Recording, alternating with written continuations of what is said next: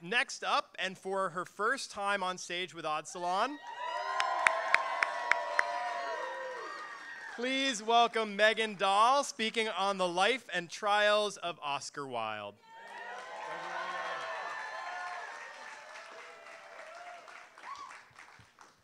I am of the shortness, I apologize.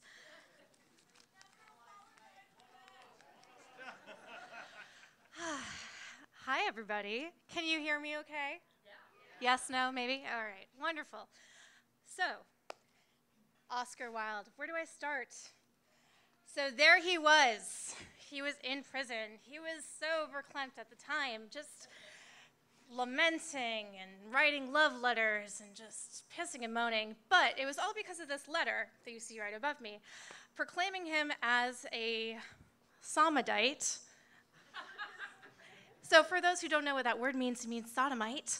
Uh, but it, let's gloss over this gr- very gross misspelling and kind of focus on Oscar Wilde, or Oscar Fingal O'Flaherty Wills Wilde if you're nasty.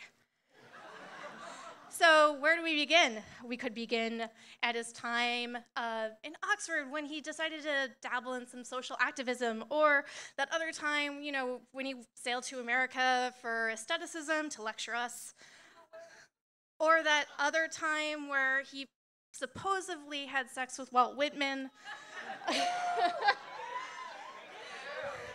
But we could also talk about his bizarre love triangle with Francesca and her husband, Bram Stoker. But that's not really where we start. So, Oscar Wilde. Born October 16th, 1854, to a William Robert Wills Wilde, isn't he so handsome? And his lovely wife, uh, Jane Francesca Angus Wilde, in Westerland Row, Dublin. Now, the reason he was in a dress, his mother would often want a girl and would dress him as one. So he had a very eccentric upbringing, to say the least. Uh, so from there, we kind of focus on why Wilde was in prison. Because of this guy. Uh, so, no, he's not quite the villain you would expect. Um, I like to dub him a manic pixie dream fuckboy. So, his name is Lord Alfred Bosie Douglas. So, people called him Bosie for reasons that his mother just decided for whatever. But he was an arrogant, narcissistic party animal. and Wilde was in love. He was so fascinated by Bosie and his golden hair and charm. So you would think, and this, this reference I loved, by the way, uh, you would think that his 16 Candles experience, this is Robbie. This is, this is Wilde's best friend and ex lover and confidant. So Bosie, being the new guy in town, is not the ducky in this situation. Robbie is in love with Wilde. Uh, not trying to break them up per se, but Wilde would often write letters about their tumultuous relationship, whether it be love, hate, their breakups, whatever. I'm sure we've all been there. But Wilde, he is to Robbie, would write this letter about Bosie, he is quite the narcissist.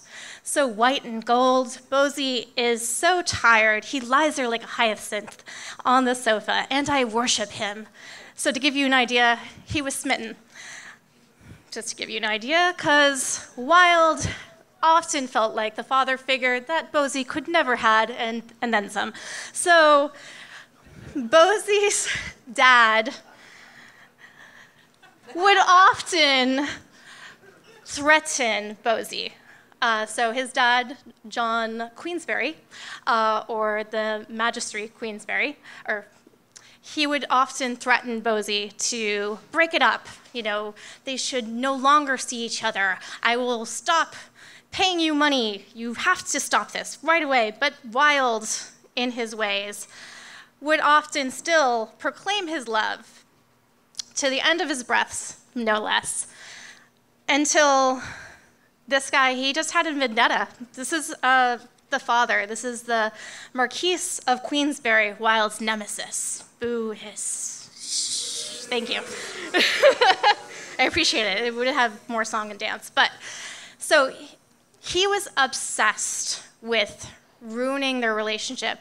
And it may have been because his firstborn son allegedly committed suicide for also having a gay relationship, but we're not going to go there.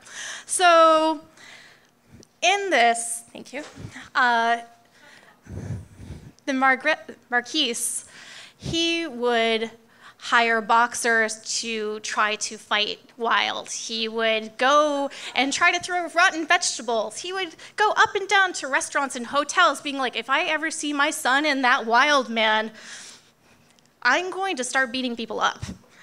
And then this note happens. So one day, the Marquise decides to write this note after a lot of ongoing back and forths with his son.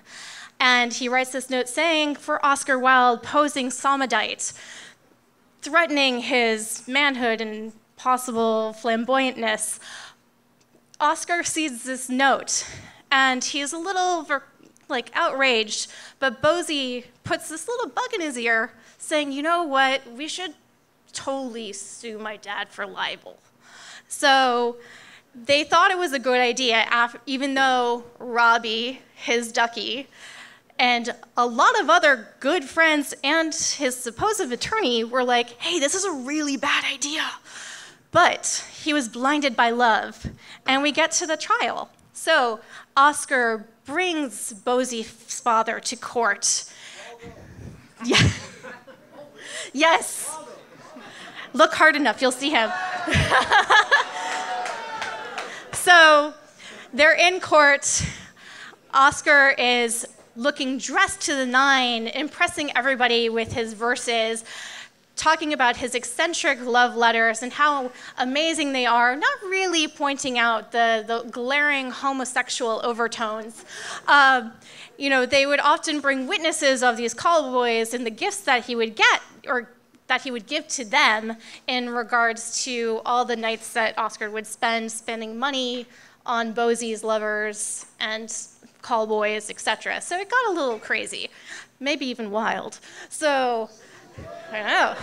But they never really came to a verdict. They dropped the charges, or at least Wilde dropped the case after much convincing. But all behind the scenes, the Mag- Magris, sorry if, if I'm mispronouncing that, but he has been investigating and getting more evidence to prove that the libel case is true.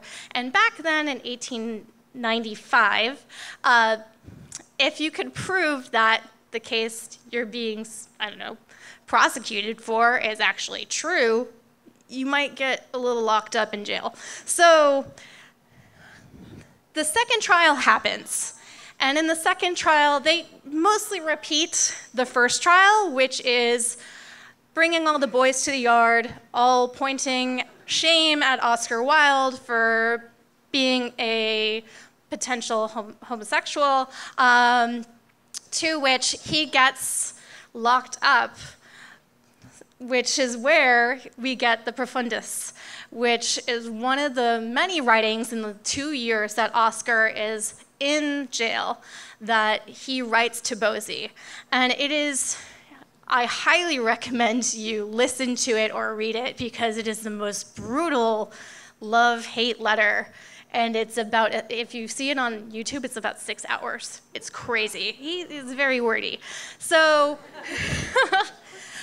so in this, he is so heartbroken that in the two years that he is stuck in prison. Bosie never calls or writes or anything. So when he gets released, Robbie, shining in on a steed, comes to his rescue, gets him out on bail. And then they go off to Flor- uh, Florida, no, France, I mean. they run off to France. and they eventually, Bosie comes back and Wilde forgives him and he never actually got the Profundis letter. So the Profundis letter, what happened was Wilde gave it to Robbie. and he told Robbie to give it to Bosie. And what happened was, Wilde changed his mind, and Bosie never saw the letter until after Wilde's death. So when the death, when his death happened, or when they actually remet, pardon my French, when they remet, they never knew, he never knew how much pain Wilde was in. So they reconnected. They stayed together up until his death. And when he passed away, Robbie published the letters, named it De Profundis, and there was a big, big fight, blow up between Bosie and Robbie after that, if you can imagine. But to say the least, this is wild. And let's raise a glass for the love that dare not speak his name, the one and only Oscar Wilde, and his torrid love affair with this manic pixie fuckboy Bosie. Cheers.